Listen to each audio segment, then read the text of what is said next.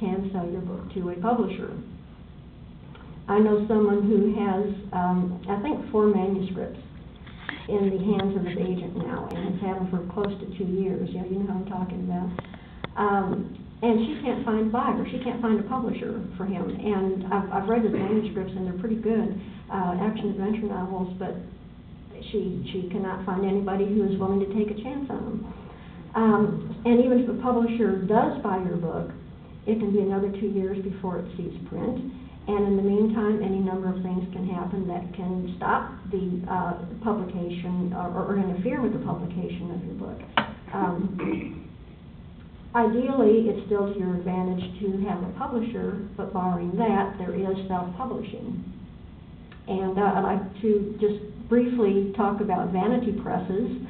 Um, there's a stigma attached to vanity press, of course. The idea being that you couldn't find a publisher, but you think your book is so good uh, that you're willing to pay to have your own book printed and then sell it yourself. Um, I think a lot of people go with vanity press uh, because they're doing it for friends or family. They haven't even tried to find a publisher, but they do want maybe some poems they've written or um, biography or something uh, in book form, and so they go with Vanity Press. Uh, and also with Vanity Press, you have to pay up front to have however many books you want printed. That's not a very good sentence. Um, but you, you pay to have your books printed first, and then you have to go out and try to sell them. Uh, it can be really, really expensive. Uh, but there are examples of Vanity Press books that have become hugely successful.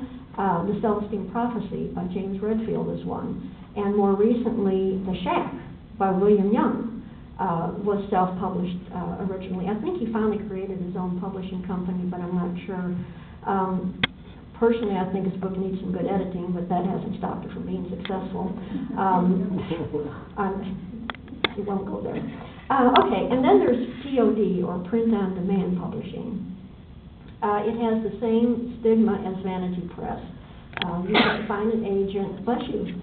Uh, you couldn't find an agent or a publisher, uh, so they must be ignorant or too stupid not to recognize the genius of your work. Um, although I have heard that some mainstream publishers are starting to use POD as a way of keeping costs down.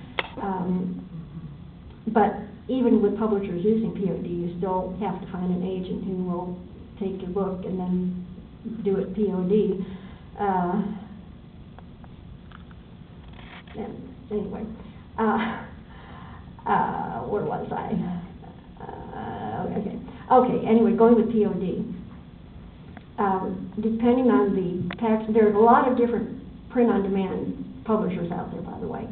And depending on what package you buy from some publishers, it could still cost you a bundle up front just to prepare your book for publishing.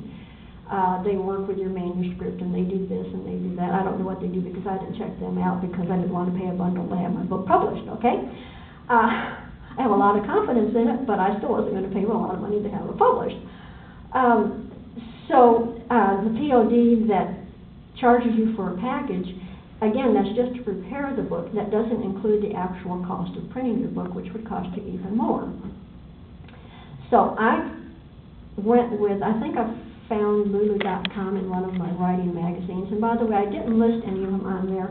But if you don't subscribe to any of the writing magazines like Writer's Journal, um, uh, The Writer, uh, Writer's Digest, uh, Byline's gone out of business. They went out of business right after they published one of my poems. so let that be a warning to these other magazines. Um, and Poets and Writers is supposed to be pretty good, but I have not really gotten a lot out of that particular magazine. But these others that I've mentioned, uh, I think are really useful. Um, anyway, um, I went with Lulu.com. That's L-U-L-U, Lulu.com. And they have a package that will cost you nothing except when you actually have a draft copy of your book printed. Uh, they do require you to buy at least that one copy before, or, yeah, they do want you to buy the one copy because they want you to be sure that the book looks exactly the way you want it, that you can double check it for errors, uh, that you can make any changes you want before you actually put it up for sale, And if you do discover a mistake, or if you do discover that there's something that you want to change about a Lulu book, then you can go back into the website